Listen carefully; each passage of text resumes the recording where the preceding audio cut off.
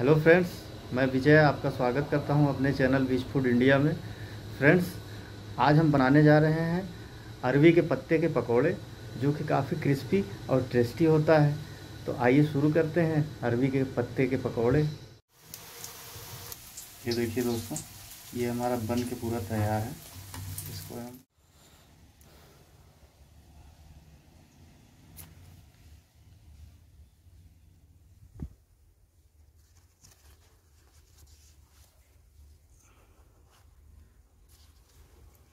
दोस्तों, ये घुइया की पत्ती है, अरवी जिसे बोलते हैं। इसकी हम पकौड़ी बनाएँगे आज, बड़े। फ्रेश है।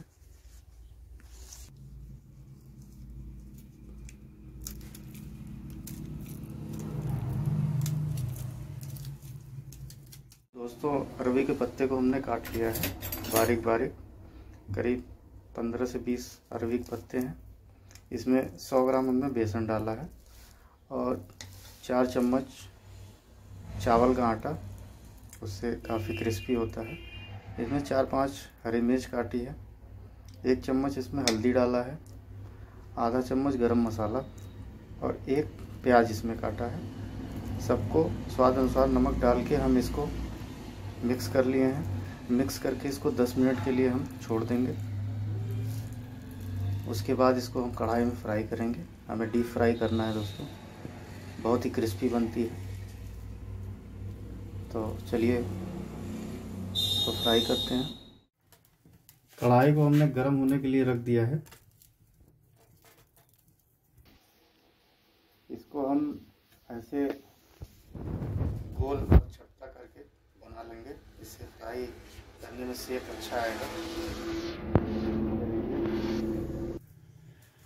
तेल को हमने इसमें डाल दिया है। इसमें शुद्ध सरसों का तेल इस्तेमाल होगा। ये देखिए, हमारा तेल गरम हो रहा है। इसको अच्छे से गरम करना है। ये हमने सारे बैटर को राउंड शेप दे दिया है। इसको हल्का चिपटा करके अब इसको कढ़ाई में हम तलेंगे। तेल हमारा अच्छे से गर्म हो चुका है। अब इसमें हम डालेंगे क्रिस्पी पकौड़ी।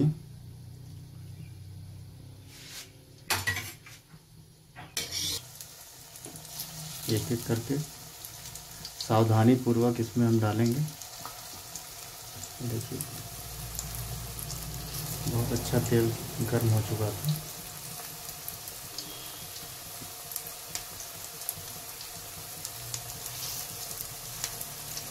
एक तरफ़ ब्राउन होने तक इसको फ्राई करेंगे।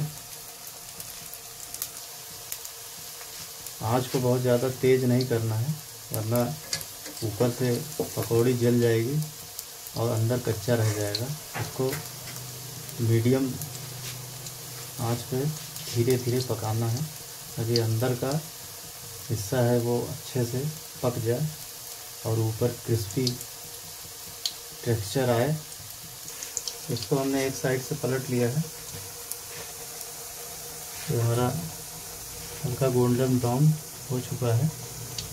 अभी दूसरी तरफ़ सीख रहा है। धीमे आँच पे इसको अच्छे से।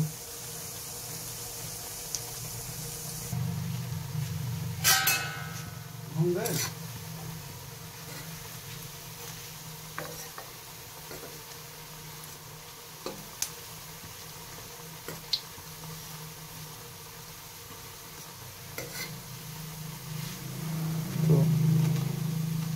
दूसरी साइड से भी पलट देंगे।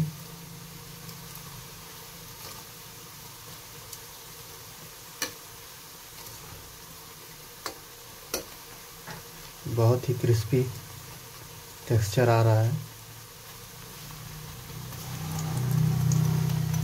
ये देखिए दोस्तों, आवाज़ इसकी सुनिए।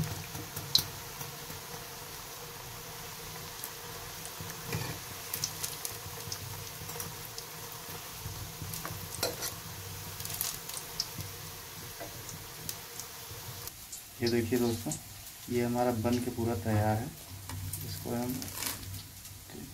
देखिए, पूरा अंदर तक पक गया है और ये एकदम क्रिस्पी है। आप भी बनाइए, इसको एंजॉय करिए, मेरे चैनल को सपोर्ट करिए लाइक करिए शेयर करिए। आपका बहुत बहुत धन्यवाद। नमस्कार।